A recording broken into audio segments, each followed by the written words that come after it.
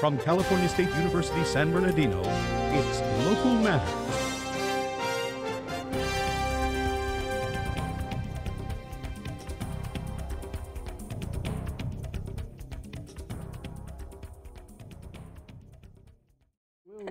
Essential oils in San Bernardino history. Hello, I'm Jaylin Blythe, and welcome to Local Matters featuring stories from across the Inland Empire. And I'm Yareli Morales. Essential oils are growing in popularity as holistic medicine has brought back the magic of home remedies. Reporter Amanda Romero talks with the daily consumer of the oils to discover their benefits and uses. Essential oils have many uses. Depending on the oil you use, it can be used in cooking, beauty products, or even just in your everyday health. Essential oils are aromatic compounds. You find them in plants, in the seeds, the leaves, the flowers, anything that has to do with the plant. That's where you find them. I like to use the essential oils because they're natural.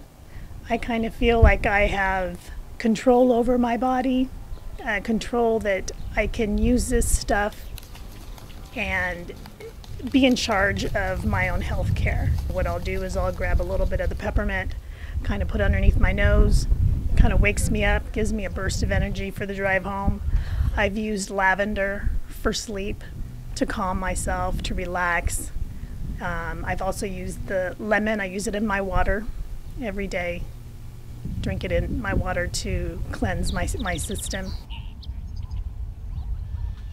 These homemade remedies may not cure illnesses like the common cold. However, they have shown significant prevention against toxins that may cause symptoms like fatigue or pain.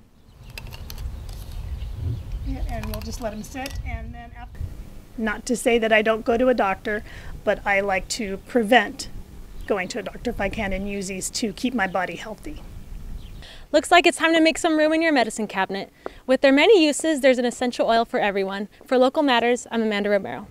The Santa Fe Depot played a big role in the development of the metropolitan city of San Bernardino. Reporter Irma Martinez takes a trip back in time with the help of the San Bernardino Historical and Pioneer Society to learn more about our city's history.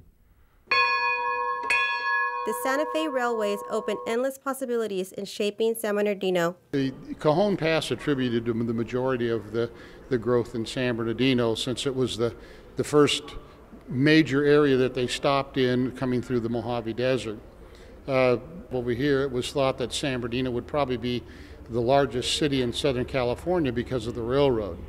The reason they didn't include Los Angeles in this is because the ports weren't active then. Employment here at its was about 3,000 people, plus all the peripheral businesses that supplied uh, the needs of Santa Fe at this point. Uh, 26 passenger trains a day uh, came through here, 13 eastbound, 13 westbound. So there was a lot of activity in San Bernardino. They named a lot of their trains through the Indian tribes and through New Mexico and Arizona.